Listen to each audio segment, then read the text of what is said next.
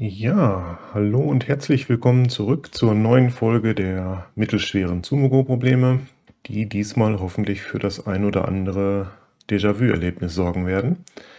Ich habe hier mal drei Probleme aufgebaut, bei denen jeweils Schwarz am Zug die weißen Steine töten soll. Und wie üblich fangen wir mal links oben an. Da sieht man ja, wenn Schwarz jetzt mal nichts Besonderes versucht, dass der Augenraum hier an sich doch groß genug ist, um da drin oder damit zu leben. Aber ähm, es gibt vielleicht ein paar Möglichkeiten hier für Streit zu sorgen. Die korrekte Idee ist der Zug hier, der den Augenraum so ein bisschen zerstückelt erstmal. Aber der kann natürlich gefangen werden. Und wenn Weiß das auch sofort hier in die Tat umsetzt, dann kann Schwarz hier spielen und Weiß kann ja hier nicht abschneiden wegen Freiheitsnot.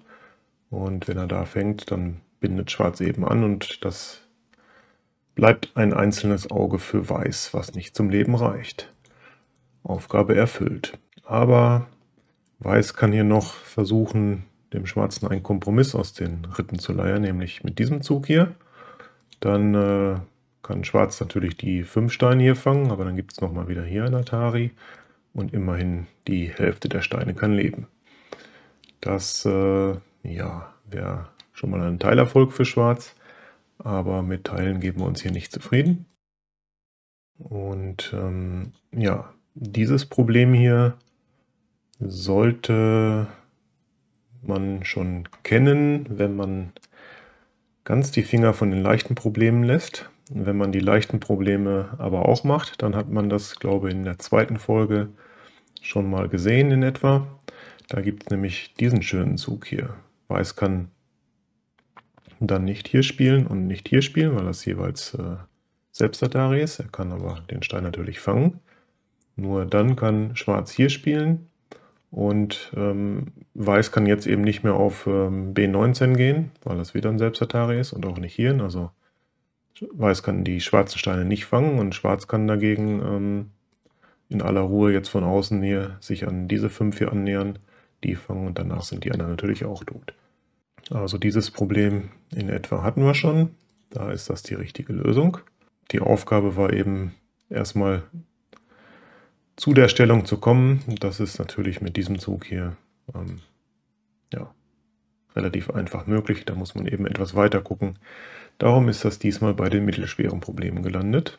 Auch die Stellung äh, hier rechts oben sollte aufmerksamen Zuschauern meines Kanals schon irgendwie bekannt vorkommen. Es geht, äh, wie gesagt, darum, die weißen Steine zu töten. Hier sieht man, egal was Schwarz unternimmt, ähm, er kann diese drei Steine nicht mehr retten, beziehungsweise von Weiß irgendwie was fangen. Also die sind weg. Ähm, wenn Weiß die natürlich schlägt und Schwarz wieder reinspielt, wäre das eben ein Auge. Die Aufgabe ist eben, zu verhindern, dass Weiß hier ein zweites Auge machen kann. Der normale Zug sieht erstmal so aus ne? und dann kann man hier noch umbiegen, ähm, aber Weiß hat dann gerade genug Freiheiten, um jetzt hier die schwarzen Steine auf Atari zu setzen und die auszufangen und dann halt zu leben. Oder damit zu leben. Was haben wir dann an Alternativen? Ähm, es ist in einer Partie im Mai vorgekommen, da habe ich mal diesen Zug gespielt. Ähm, dummerweise war er da nicht so gut wie hier. Aber gucken wir uns mal an, was jetzt hier ähm, passiert. Also wenn Weiß dann natürlich hier spielt und Schwarz könnte jetzt denken, okay, ich spiele hier, hier und dann so, dann ist das hier ähm, ein, ähm, ja, so ein temporäres Seki zwischen diesen beiden Gruppen. Weiß kann also keinen dieser Steine, äh, dieser Punkte besetzen. Er könnte natürlich hier hingehen, aber dann kann Schwarz eben hier das Demi-Ei gewinnen und äh, danach dann auch hier reingehen und die Gruppe wäre tot. Also wenn Schwarz eben diesen Zug hier ähm, spielt, kann Weiß aber dann hier antworten und da ist außen leider noch genau genug Platz, um irgendwie hier rauszukommen. Also der geht auch nicht, weil dann die schwarzen Steine gefangen werden. Aber Schwarz kann hier spielen.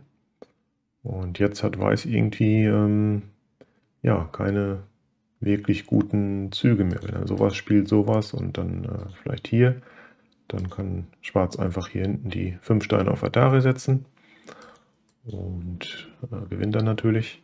Das hier geht auch nicht, weil jetzt äh, so Einwürfe hier nicht funktionieren. Und ähm, ja, Weiß hat aber noch diesen Zug, könnte man meinen.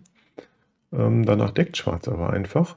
Und wenn Weiß jetzt äh, da oder da deckt, dann haben wir wieder so eine ähnliche Stellung wie eben, dass diese Steine hier schneller gefangen sind als die. Und der erste Zug hier von Weiß bringt ähm, eben noch nicht viel, weil Schwarz erst nach dem zweiten Zug wieder hier reinspielen muss. Also hat jetzt eben Zeit, hier reinzugehen, äh, hier die ähm, Freiheit zu nehmen und danach dann hier reinzugehen.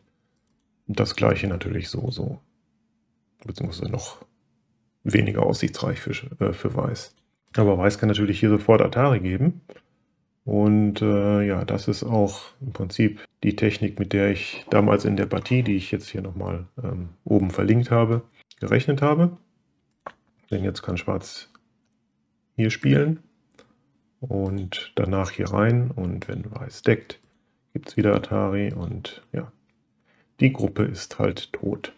Ja, in der Partie, die ich hier verlinkt habe, ähm, hat der Gegner ähm, allerdings die Chance gehabt, ähm, auf eine andere Variante noch abzubiegen. Aber das könnt ihr euch dann ja nochmal angucken, wenn es euch interessiert.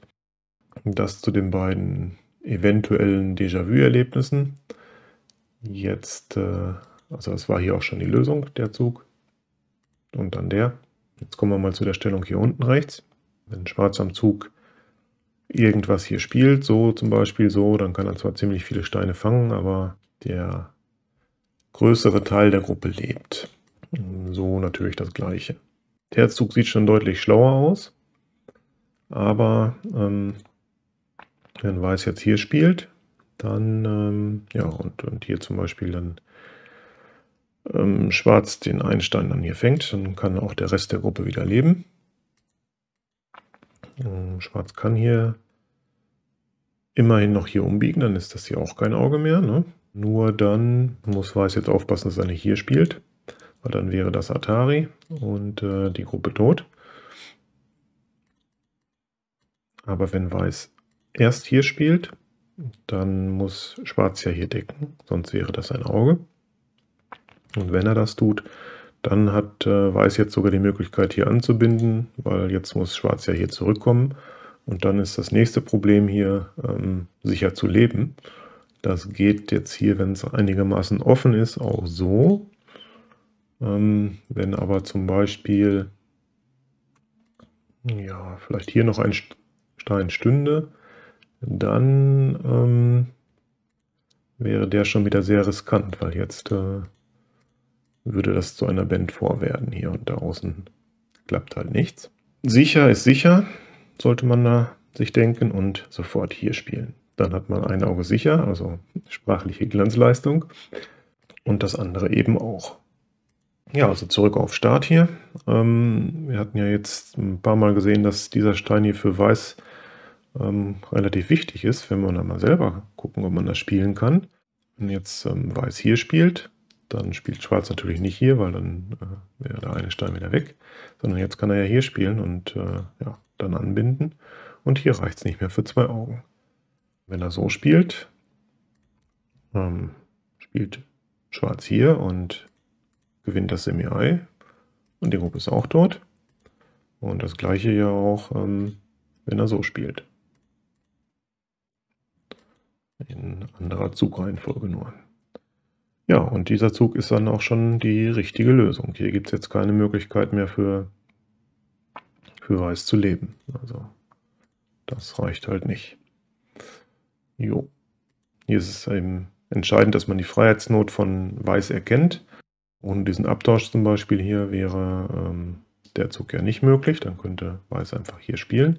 Ja, aber dadurch, dass Weiß eben so ein bisschen irgendwie in die Wand reingerannt ist, könnte man sagen, ähm, ja, hat er eben sich hier selber eine Freiheitsnot ähm, aufgebaut. Ja, und mit dem Zug P2 ist Weiß eben tot. Jo, das waren auch schon die Probleme. Ja, ich hoffe, die Probleme haben euch gefallen und ähm, die Wiederholungen hier oben bei den zwei Problemen waren jetzt nicht irgendwie langweilig, sondern haben vielleicht doch eher den Lerneffekt verstärkt. Ja, schreibt mir gerne in die Kommentare, was ihr von den Problemen oder von Problemen allgemein haltet, ähm, ob ihr lieber Partien von mir seht oder vielleicht auch mal Profipartien etwas detaillierter besprochen als letztes Mal. Ich hatte mal jetzt eine, wo es aber eher um das Zumego ähm, ging, was da drin vorkam. Und ähm, dann schaue ich mal, was ich von euren Wünschen erfüllen kann. Ansonsten freue ich mich immer über einen Daumen hoch und ähm, Abos sowieso. Aber das habt ihr alle schon gemacht, nicht wahr?